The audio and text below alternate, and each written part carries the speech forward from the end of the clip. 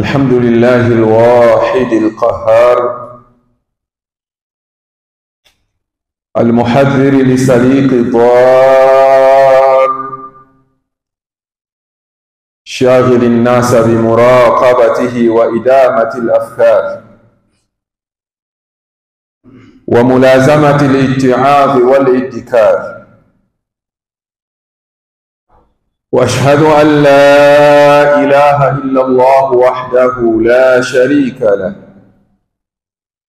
شهادة أدخرها إلى يوم العرض والحساب.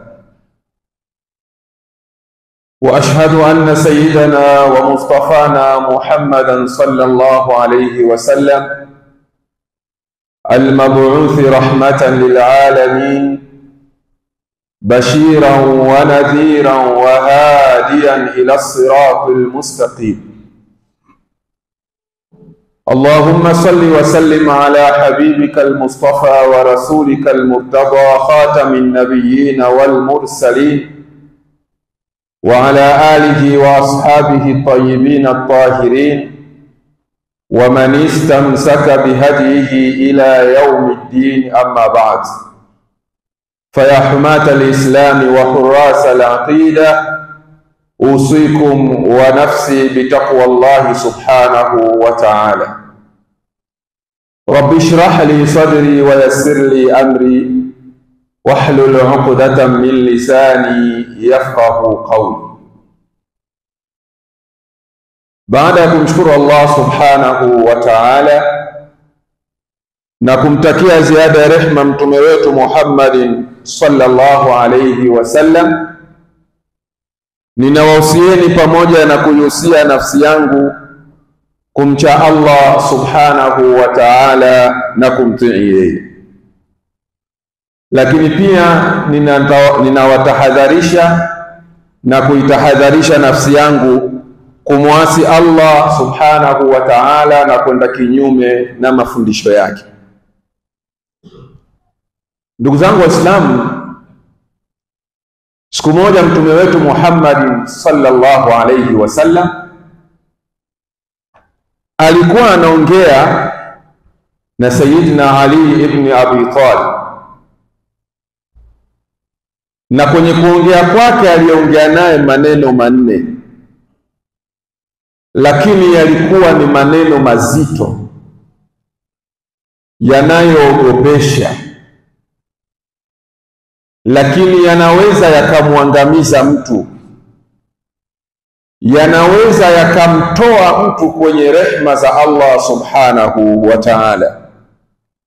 Naam, anaeleza maelezo hayo ni Mtume Muhammad sallallahu alayhi wasallam, lakini pia anayeelezwa na kuambiwa ni sahaba wa Mtume sallallahu alayhi wasallam, pia tunasema ni khalifa maneno ambayo baadhi ya masahaba walidhani kuwa ni maneno ya siri na aliyeambiwa ni Sayyidina Ali peke yake na hatakiwi mtu mwingine kuyaelewa. Hivyo Tufail rahimahullah, baada ya Sayyidina Ali kuachana na Mtume, Tufaili akamfuata Sayyidina Ali na akamwambia maneno yafuatayo: akhbirna bishaiin asarrahu ilaika rasulullah, hebu tueleze chochote kile ambacho mtume sallallahu alayhi wasallam amekwambia wewe kwa siri, hebu tueleze. Kakueleza nini? Sayyidina Ali akamjibu akimwambia, ma asarra ilayya shay'an katamahu nnas, Mtume sallallahu alayhi wasallam hajanieleza siri mimi yoyote ambayo ameificha kwa watu wengine, lakini mimi nimemsikia anasema, anamwambia maneno aliyokuwa anaambiwa na Mtume. Nimemsikia anasema, anasema hivi, laana Allah man dhabaha li ghairi llah Mwenyezi Mungu amemlaani yule aliyechinja kinyume na Mwenyezi Mungu. laana Allah man awa muhditha, amemlaani Mwenyezi Mungu yule mwenye kumpa hifadhi aliyefanya makosa. Laana Allah man laana walidaihi, amemlaani Mwenyezi Mungu aliyewalaani wazazi wake wawili. Laana Allah man ghayyara almanar, wa fi riwaya man ghayyara manara al-ard, amemlaani Mwenyezi Mungu yule aliyebadilisha mipaka ya ardhi. Ndugu zangu, kwa utangulizi huu, insha Allah khutba yetu ya leo itazungumzia almalunina alarbaa, watu wa aina nne waliolaaniwa. Kwanza, nini maana ya laana? Tunaposema laana, amelaaniwa huyu, maana yake nini?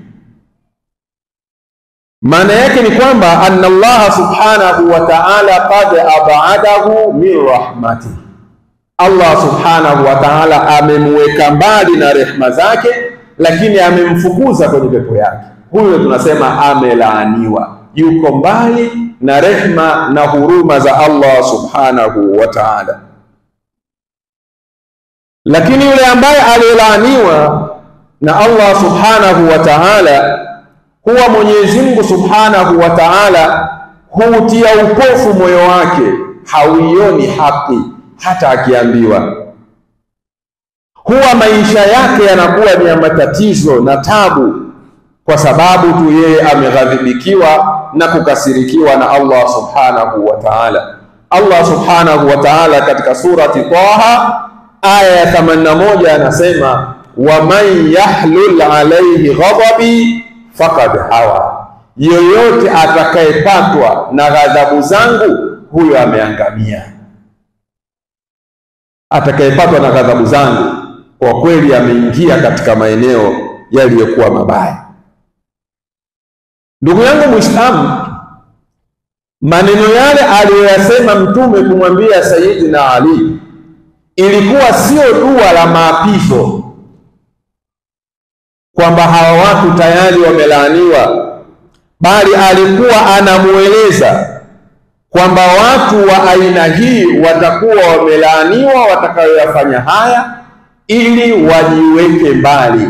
Kwa hiyo mtume hakuyasema yale kwa kuwa ndiyo anawapiza na kulaani watu, kwa sababu mtume lam yub'ath laana, hakutumwa ili awe kazi yake kulaani watu.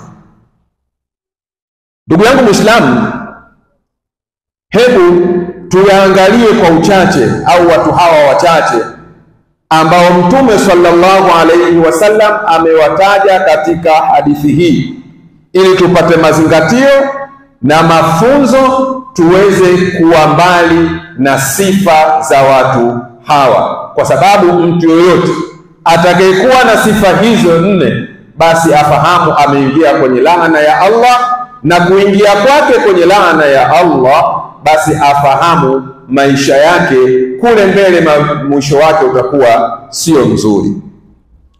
Huyu wa kwanza ambaye tumemtaja kwenye hadithi, laana Allah man dhabaha lighairi llah, Allah amemlaani yule anayechinja kinyume na Allah. Tunafahamu kuchinja ni aina ya ibada za kujikurubisha kwa Allah subhanahu wa ta'ala.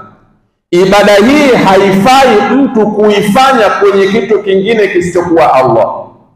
Maana yake ni kwamba yoyote anayechinja, basi kuchinja kwake kuwe kwa ajili ya kumridhisha Mwenyezi Mungu, kutekeleza mafundisho ya Mwenyezi Mungu, isiwe kuwa anachinja lakini malengo yake sio kwa ajili ya Allah. Na wako watu wanaochinja si kwa ajili ya Allah, ila tu usije ukasema amekuja mgeni na chinja kwa ajili ya mgeni wangu, sitakuwa nimechinja si kwa ajili ya Allah. La, Allah na Mtume sallallahu alayhi wasallam ndio waliokuelekeza kwamba mgeni afaa kufanya nini?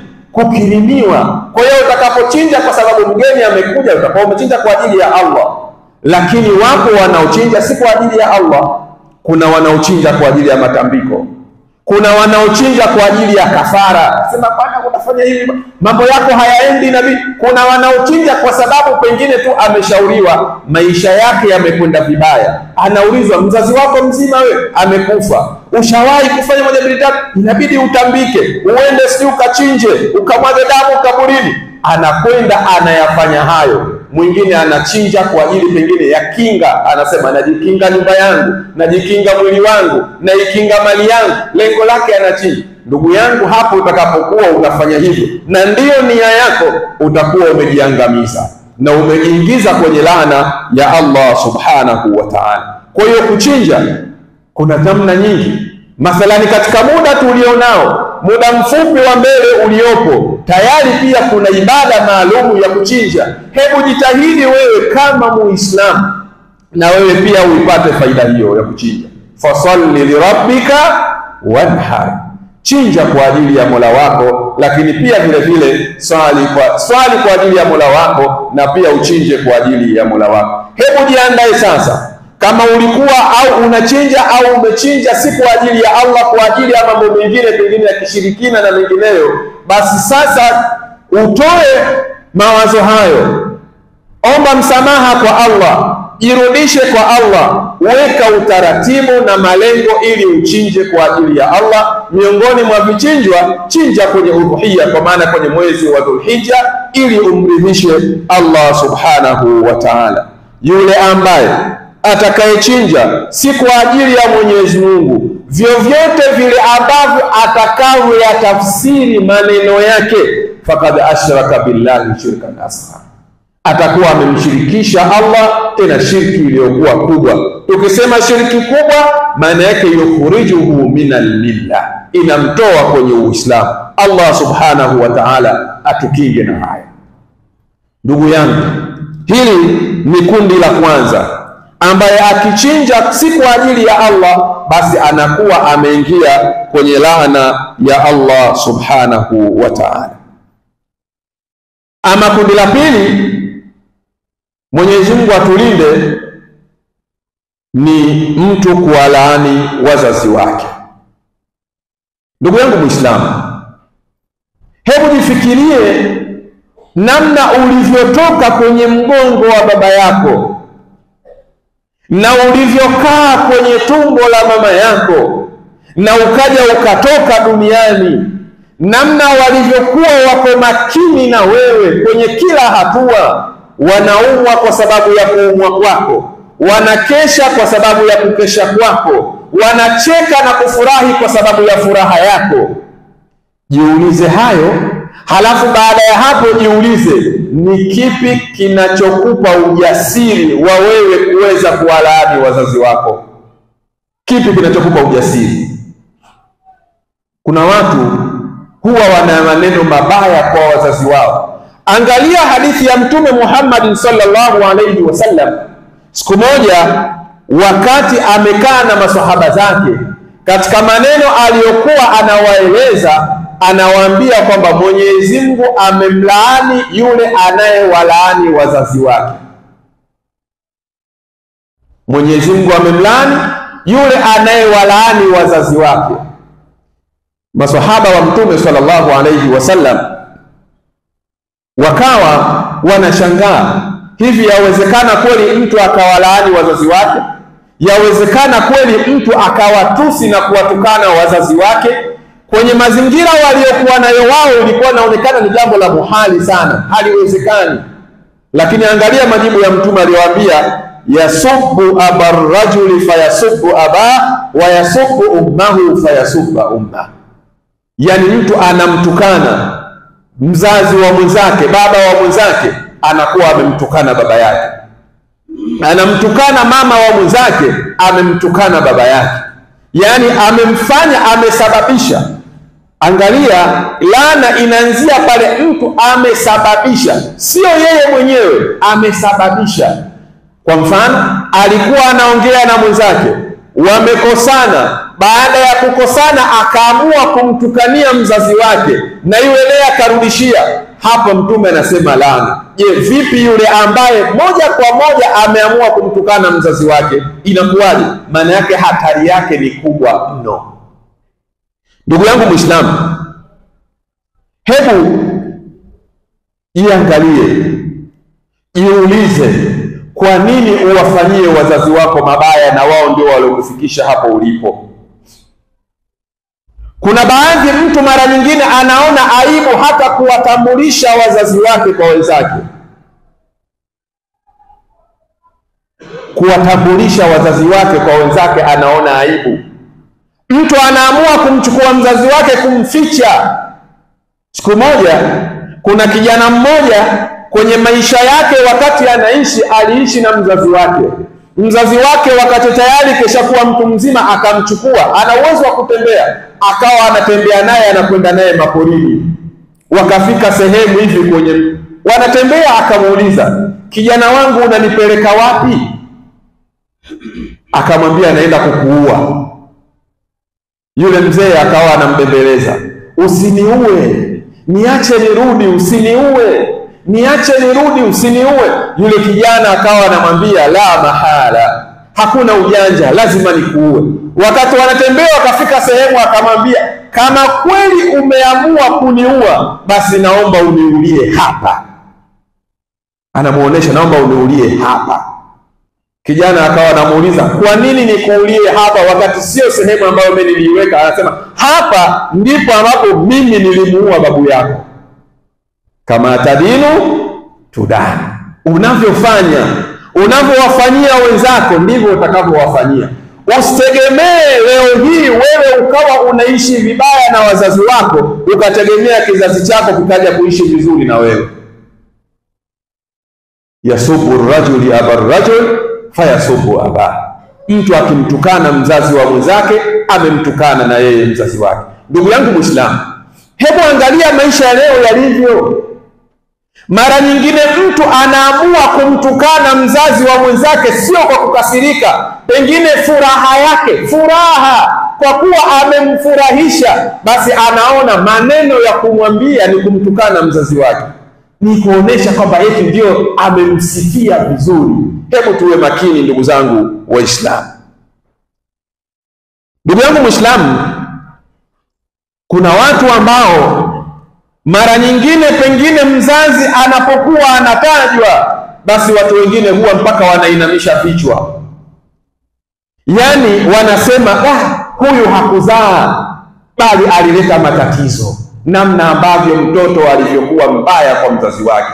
Lakini haifikii watu sasa hivi wamefikia mtu acha ule ujeuri na kibri cha kumtukana mzazi wake, bali mtu anafikia muda wakati anamtukana mzazi wake, anampiga mzazi wake, anamuita rafiki yake ama mtoto wake ama mfanyakazi wake, mume wake au mke wake, anampa na simu, anamwambia rekodi haya ninayoyafanya.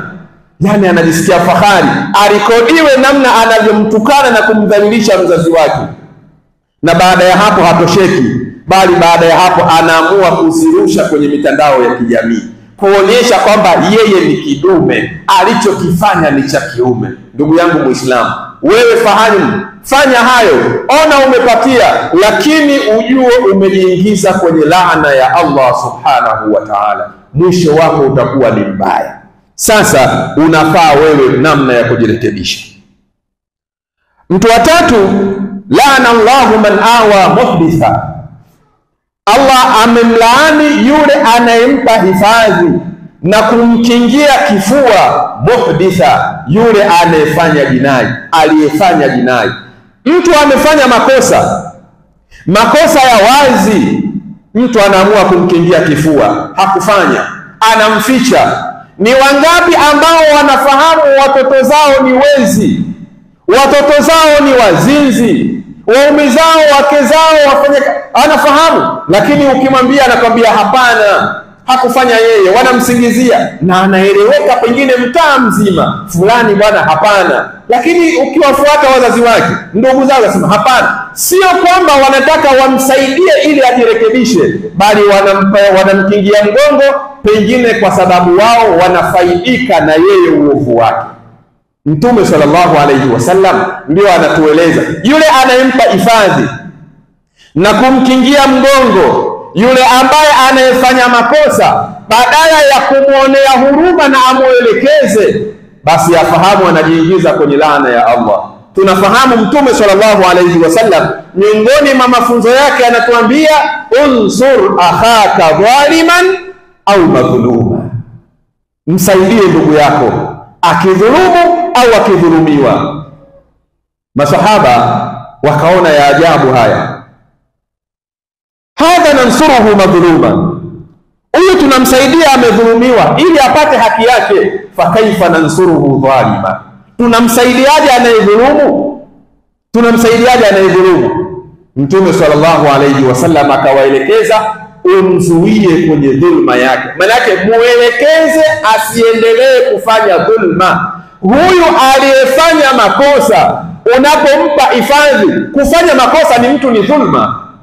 Unapompa hifadhi, manake unamwambia aendelee na dhulma yake. Unachotakiwa kufanya ni kumsaidia, kumwambia ulichokifanya moja, mbili, tatu sio sahihi, na sio kumsaidia ili yeye aendelee kwenye ule uovu wake.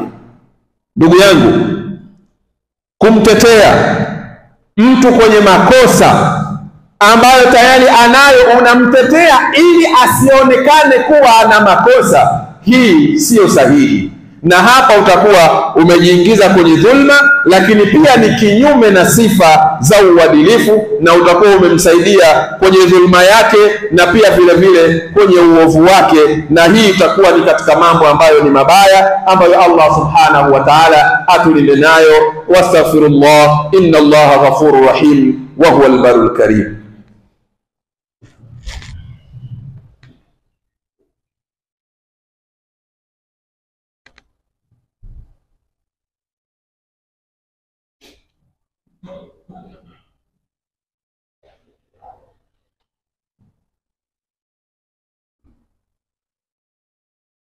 Alhamdulillahi rabbil alamin. Wassalatu wassalamu ala rasulillahi sallallahu alayhi wasallam amma ba'd, usikum wa nafsi bitaqwallah, ninawausieni pamoja na kuiusia nafsi yangu kumcha Allah subhanahu wa ta'ala. Mtu wa nne aliyelaaniwa ambaye ametajwa kwenye hadithi hii ya Mtume sallallahu alayhi wasallam, man ghayyara almanar ni yule anayebadilisha mipaka ya ardhi. Yule anayebadilisha, kama mtu anabadilisha mipaka tu amelaaniwa. Je, vipi yule ambaye anayedhulumu ardhi nzima, kama ni kiwanja, kama ni shamba? Ndugu yangu Muislamu, miongoni mwa mambo ambayo sasa hivi katika ulimwengu tulionao na yanaleta migogoro sana katika jamii ni mambo ya mipaka ya ardhi. Ni mambo ya mipaka yamekuwa ni matatizo sana, yaani kila mmoja huwa anahisi yaani yeye ili awe mjanja lazima ajimegee na kujiongezea kipande kidogo cha ardhi kuliko ile haki yake anayostahiki na mtu anayafanya hayo pengine kwa kujiangalia kwamba yeye ana uwezo wa kuongea sana mbele ya watu au mbele ya mahakama, ana uwezo wa kifedha, ana uwezo pengine wa kimadaraka, ama ana uwezo wa watu wa nyuma yake wanaweza wakamkingia kifua. Kesi za ardhi zimekuwa nyingi sana mpaka zinaonekana ni za kawaida, yani watu kudhulumiana ardhi ni kawaida. Mtume sallallahu alayhi wasallam anatuambia man saraka min al-ardi shibran tuwiqahu yawma al-qiyamati min sab'i aradhin, atakayeiba atakayeiba shubiri moja tu ya ardhi, kipande kidogo tu cha ardhi, basi siku ya kiyama atabebeshwa ardhi saba. Hebu jiangalie, kipande kidogo tu cha ardhi umekiiba, siku ya kiyama sehemu kubwa unabebeshwa. Wewe unaweza kuibeba ardhi? Jiulize, una uwezo? Kama pengine hapo ulipokaa tu ukiambiwa ibebe hiyo sehemu uliyokalia, huwezi. Vipi ukibebeshwa saba? Kwa hiyo unaweza ukajiona mjanja, umefanikiwa, umedhulumu, umejiwekea mipaka ya kwako, umekwenda kinyume, ukaona umefanikiwa, lakini ulichokipata ni wewe kupata hasara, kwa sababu unakuwa umeingia kwenye yale mambo ambayo umejiingiza kwenye laana ya Allah subhanahu wa ta'ala. Hebu muogope Allah, fi sirri wal ala, ukiwa wazi ama ukiwa katika maeneo ya siri. Allah anatuambia man amila salihan falinafsi wa man asaa faalaiha wama rabbuka bidhallamin lilabid, yoyote atakayefanya mazuri falinafsihi, manufaa ni ya kwake mwenyewe, faida ni za kwake mwenyewe. Waman asaa fa alaiha, na atakayefanya mabaya madhara ni ya kwake. Wama rabbuka bidhallami lilabid, na Allah subhanahu wa ta'ala wala hana sifa yeye ya kuwadhulumu waja wake. Ndugu yangu Muislamu, tumeyataja haya makundi manne. Kwanza fahamu hizi ni sifa mbaya. Anayekuwa na sifa hizi ni mtu mbaya, anabughudhiwa na Allah subhanahu wa ta'ala, analaaniwa na Allah subhanahu wa ta'ala. Tumezitaja ili kila mmoja awe makini, kama anazo basi ajitoe muda huu ambao yeye pumzi yake na afya yake ni nzuri na akili yake, ajitoe kwa kuomba msamaha kwa Allah subhanahu wa ta'ala na yule ambaye hana basi asije akajiingiza kwa sababu tu ya kuona mbona watu wanafanya. Ndugu yangu, ukifanya hivyo utakuwa umeniingiza kwenye matatizo makubwa, yani kuyafanya hizi sifa nne zilizozitaja, Ukijipamba nazo na kujiingiza huko, utakuwa umejiingiza kwenye laana ya Allah subhanahu wa ta'ala. Mwenyezi Mungu subhanahu wa ta'ala, tumuombe atuoneshe haki ili tuifuate na batil ili tuweze kuepukana nayo. Allahumma arina alhaqa haqqan warzuqna ittibaa wa arina albatila batilan warzuqna ijtinaba. Allahumma ighfir lilmu'minina walmu'minat والمسلمين والمسلمات الأحياء منهم والأموات برحمتك يا أرحم الراحمين والحمد لله رب العالمين وأقم الصلاة.